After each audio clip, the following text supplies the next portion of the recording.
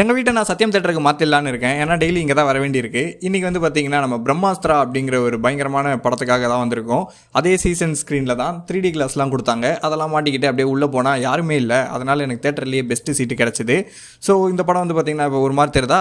Three D class போட்டிருக்கேன். நல்லா தெரிதா? அந்த மாதிரி தான். ஷாருக் கானோட பயங்கரமான கேமியோட இந்த படம் சூப்பராக முடிஞ்சுது. அப்படியே நான் வெளியே வந்தேன். வெளியே வந்தால் நம்ம நண்பர்கள்லாம் நின்று இருந்தாங்க எல்லாருக்கும் டாட்டா சொல்லிட்டு அப்படியே கிளம்பிட்டேன்.